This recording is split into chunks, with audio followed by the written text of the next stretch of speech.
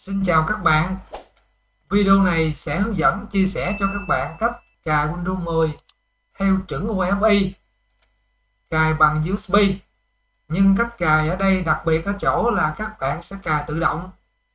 Các bạn sẽ tiết kiệm được rất nhiều thời gian trong quá trình các bạn cài.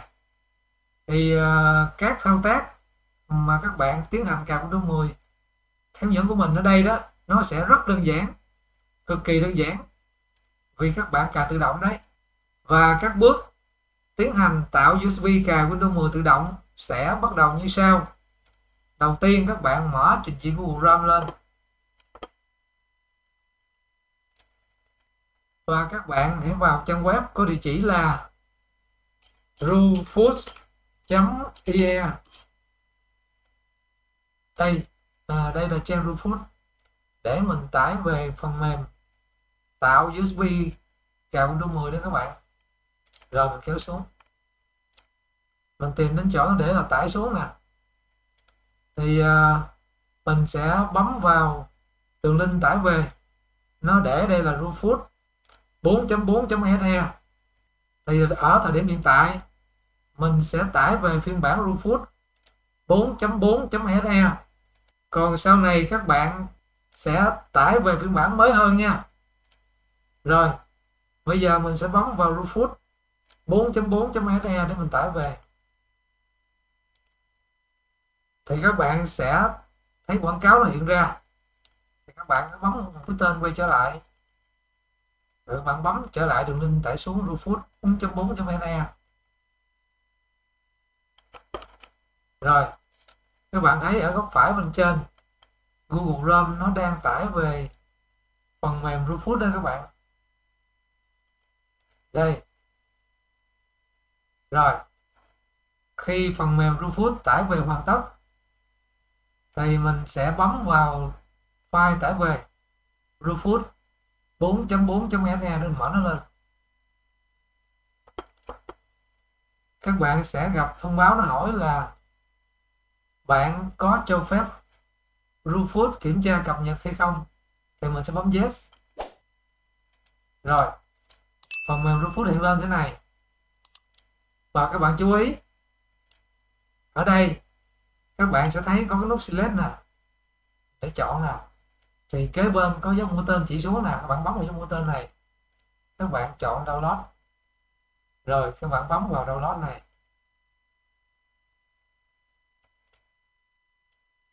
Mình bấm vào download để mình tải về file ISO cài Windows 10 mình tải về trực tiếp từ trang Microsoft.com đó các bạn.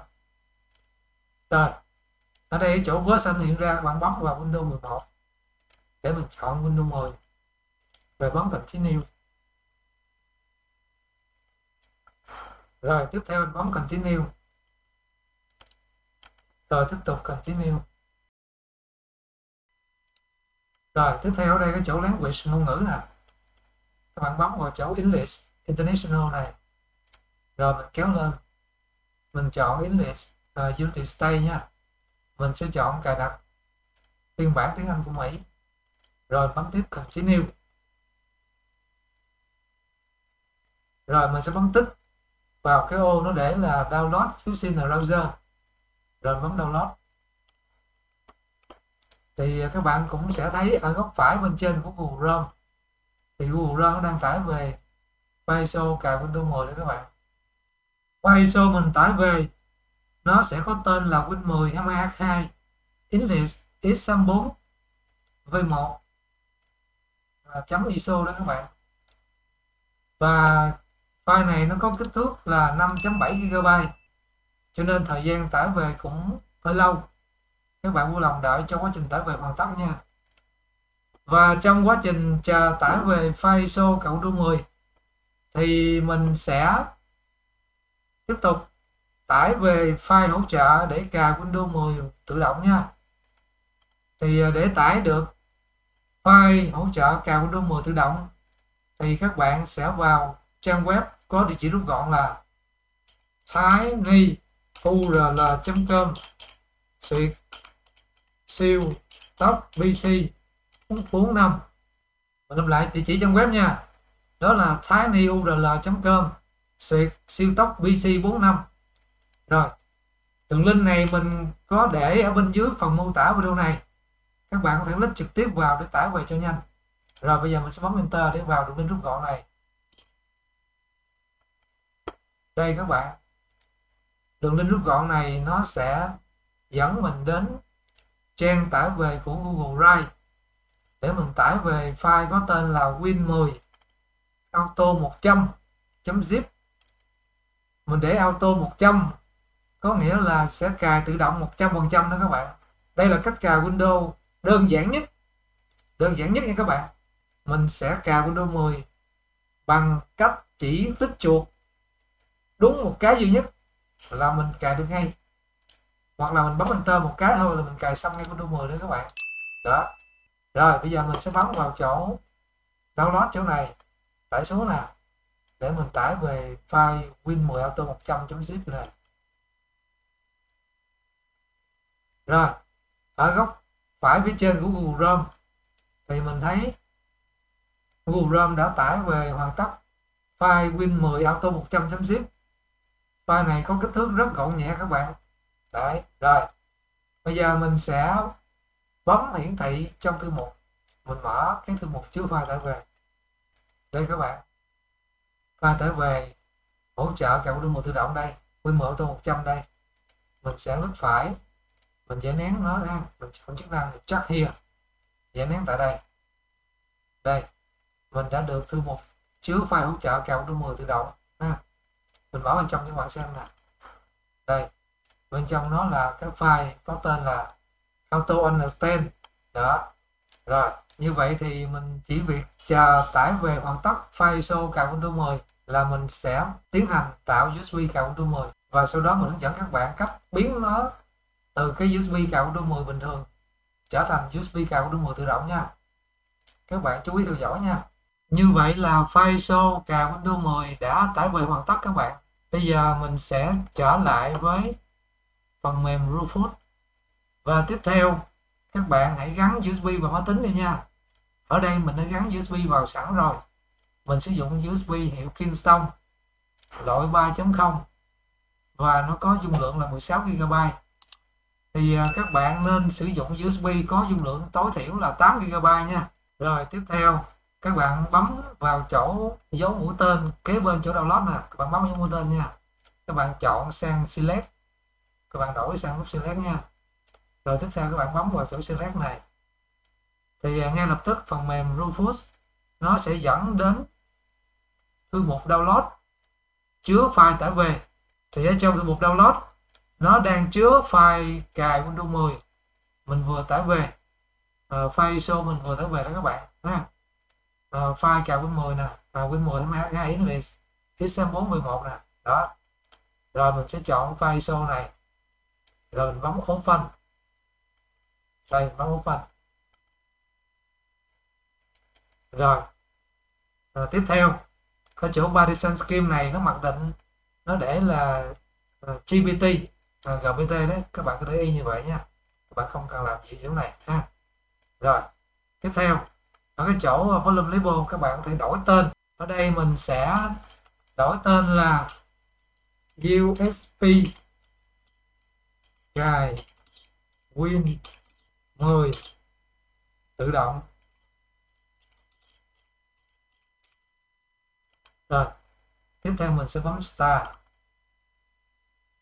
Rồi mình tiếp tục bấm ok. À, phần mềm Rufus nó sẽ cảnh báo là tất cả dữ liệu trong USB sẽ bị xóa. Thì ở đây trong USB của mình không có dữ liệu gì quan trọng cho nên mình sẽ bấm ok để mình xóa nếu các bạn có dữ liệu quan trọng trong USB thì các bạn nhớ sao lưu nha. Rồi, như vậy thì ờ, quá trình tạo USB cào Windows 10 nó sẽ diễn ra. Và các bạn hãy chờ cho tiến trình nó được 100% và cái thanh trạng thái này nó là màu xanh lá cây hoàn toàn. Kèm theo đó là chữ ready hiện lên nha các bạn. Các bạn vui lòng đợi nha. Như vậy là quá trình tạo USB cào Windows 10 bằng phần mềm Rufus đã hoàn tất các bạn và bước quan trọng tiếp theo các bạn hãy chú ý kỹ nha. Ở bước này mình sẽ biến cái USB cài Windows 10 mình vừa mới tạo thành cái USB cào Windows 10 tự động nha. Đây mình chỉ mới đặt tên thôi. Còn để nó cài tự động được thì mình phải thực hiện bước quan trọng tiếp theo nha. Rồi các bạn theo dõi tiếp tục mình làm thế nào nha. Rồi bây giờ mình sẽ trở lại với cái uh, thư mục uh, chứa file hỗ trợ cao Windows 10 tự động. Nó đang nằm ở đâu? Nó đang nằm trong thư mục download các bạn. Đây. File Win 10 Auto 100 nè. Mình sẽ ném nó ra được à, cái thư mục Win 10 Auto 100 là mình mở nó ra nè. Đấy. Ở bên trong thư mục à, Win 10 Auto 100 thì nó có chứa file hỗ trợ cao Windows 10 tự động. Có tên là Auto Understand. Mình lưu ý với các bạn rằng ở đây là mình hỗ trợ cào Windows 10 tự động theo chữ UFI nha tiếp theo mình sẽ copy cái file Auto Understand này. Mình click phải vào nó, mình chọn copy. Hoặc các bạn bấm Ctrl C, nha. Rồi, tiếp theo thì mình sẽ vào disk PC đây, mình sẽ mở cái USB cào Windows 10 mà mình đặt tên là USB cào Windows 10 tự động. Mình vừa mới tạo được bằng command brute force đó các bạn. Mình mở nó ra. Và việc đơn giản tiếp theo là mình sẽ lít chuột phải để mình pass mình dán cái file hỗ trợ cào Windows 10 tự động. Theo chữ UEFI mình dán vào đây. Đây ngay lập tức các bạn sẽ có thêm được file hỗ trợ cào Windows 10 tự động. Có tên Auto Understand. Cái file hỗ trợ cào Windows 10 tự động này cái file Auto Understand này nó phải nằm chung trong cái USB uh, cào Windows 10 mình mới tạo bằng của mình force nhé các bạn. Đấy mình copy mình nhấn cái file hỗ trợ cào Windows 10 tự động vào rồi nè. Đấy. Rồi, như vậy là xong các bạn. Bây giờ các bạn có thể mang cái USB cào trong mùa tự động này để các bạn có thể cài được cho bất kỳ máy tính nào nha. Đấy, các bạn sẽ cài tự động nha. Rồi, trước khi mình bắt đầu cài đặt cho các bạn xem là mình sẽ giải thích rõ cho các bạn biết quá trình cài Windows 10 tự động nó sẽ cài vào đĩa nào. Đây, bây giờ mình sẽ lít phải vào thanh taskbar bên dưới ở đây mình đang sử dụng Windows 10 nha các bạn. Rồi, mình phải lên thanh taskbar bấm vào Submanager rồi, mình sẽ bấm vào chỗ bộ phóng manh. Các bạn xem đây. Trong máy của mình hiện bây giờ chỉ có một đĩa duy nhất các bạn. Và Windows nó đặt tên là disk 0 các bạn. Và cái ổ đĩa số 0 disk 0 này, nó được chia ra hai ổ khác nhau. Gồm có ổ C và ổ D. Ổ C là mình chứa Windows 10 mình đang sử dụng đó các bạn còn ổ D là ổ đĩa chứa dữ liệu các bạn. Tuy nhiên, tiếp theo đây, khi mình tiến hành cài Windows 10 tự động, thì Windows 10 mới, nó sẽ được cài vào đĩa số 0 này. Và các bạn chú ý nha, toàn bộ dữ liệu trên ổ đĩa C và ổ đĩa D sẽ mất hết tất cả nha các bạn. Cho nên nếu các bạn nghĩ rằng trong máy của các bạn có ổ đĩa C để chứa Win và ổ đĩa D được chia ra từ cùng ổ đĩa với ổ C, mà các bạn chứa dữ liệu vào ổ D và các bạn tiến hành cào đôi 10 tự động theo cách mình hướng dẫn ở đây, thì toàn bộ dữ liệu cho đĩa D sẽ mất nha. Hay nói rõ hơn là tất cả dữ liệu trong đĩa số 0 sẽ mất hết nha các bạn. Các bạn lưu ý giúp mình nha. Để các bạn không xem kỹ, các bạn cài theo hướng dẫn của mình. Rồi các bạn mất dữ liệu trong đĩa D. Trong khi đĩa D và đĩa C nó chung trong một cái disk thế này, disk không thế này thì các bạn mất dữ liệu hết nha. Các bạn lại nói rằng mình không hướng dẫn, không nói rõ nha. Các bạn chú ý kỹ giúp mình chỗ này nha. Rồi, bây giờ mình sẽ bắt đầu tiến hành cào đua 10 tự động nha. Các bạn chú ý theo dõi mình thực hiện các bước tiếp theo nha. Rồi, bây giờ mình sẽ bấm vào cái sổ Start Window rồi mình bấm vào Restart để mình khởi động lại máy. Và mình sẽ boot vào USB cào đua 10 tự động mình vừa mới tạo nha. Rồi, giờ mình bấm Restart nè ở đây máy tính của mình sử dụng uh, mainboard của hãng Asus cho nên để vào được màn hình boot menu khi máy tính vừa khởi động lại mình sẽ bấm nhanh bấm liên tục phím F8 trên bàn phím. Còn nếu máy tính của các bạn sử dụng hiệu khác thì các bạn xem hướng dẫn của mình trên màn hình nha. Mình có hướng dẫn chi tiết đó các bạn. Tùy theo hiệu máy mà các bạn sẽ vào bút menu bằng những cách khác nhau nha. Rồi. Ở đây thì uh, mình cào Windows 10 tự động theo chữ UFI, thì tất nhiên là mình sẽ chọn UFI rồi. Nên ở đây mình sẽ chọn là UFI Kingston Data Traveler 3.0 và các bạn chú ý nha à, chỉ cần mình bấm enter một cái thôi à, để mình chọn bút vào sự lựa chọn UFI Kingston Data Tailor 3.0 mà các bạn thấy trong bút menu ở đây đó thì quá trình cào đô 10 nó sẽ diễn ra hoàn toàn tự động. Từ khi mình bấm enter cho đến khi hoàn tất cào đô 10 nha các bạn chú ý nha bạn theo dõi kỹ giúp mình nha. Rồi đây mình bắt đầu bấm enter đó. Rồi các bạn sẽ xem. Đây đây là logo của Windows 10 nó hiện lên trong quá trình cài Windows 10 tự động đó các bạn. Đó các bạn chờ xem. Nó sẽ diễn ra tự động thế nào nha. Mình sẽ không làm gì nữa cả ha. Vì quá trình cài Windows 10 theo chuẩn UEFI ở đây nó sẽ diễn ra hoàn toàn tự động. Cho nên mình sẽ cho tua thật nhanh. À, đoạn video cài tiếp theo nha. Để các bạn không phải chờ lâu à, để mình tiết kiệm thời gian nha các bạn. Rồi bây giờ mình sẽ cho tua nhanh video nha.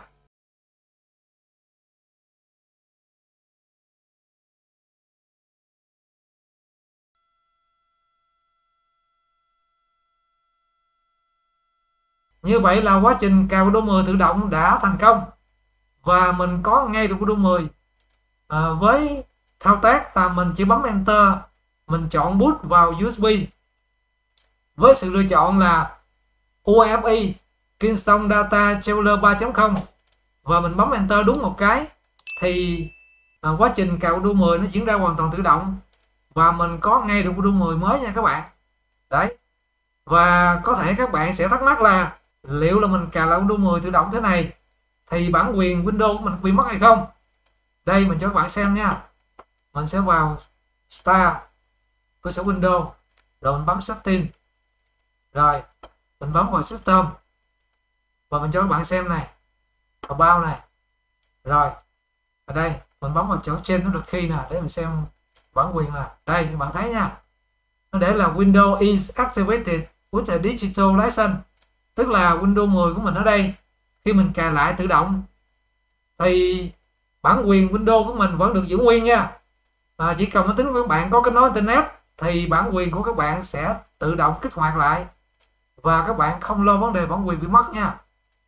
Đấy các bạn yên tâm nha. Như vậy là qua video này mình vừa hướng dẫn các bạn cách cài lại Windows 10 bằng USB với cách cài là hoàn toàn tự động. Chỉ với một cái bấm chuột hoặc là bấm enter một cái thôi thì các bạn sẽ cài xong Windows 10 ngay lập tức. Các bạn không cần có những uh, thao tác hay là những cái bước phức tạp gì nha. Nó là đơn giản nhất đó các bạn mình mong rằng video này sẽ có cho các bạn nha. Nếu các bạn thấy video này hay thì các bạn hãy cho mình xin một like và một lượt đăng ký kênh Stock PC à, để các bạn um, cũng có thể xem được video mới của mình nha. Rồi mình xin chào tạm biệt và hẹn gặp lại các bạn trong những video tiếp theo nha.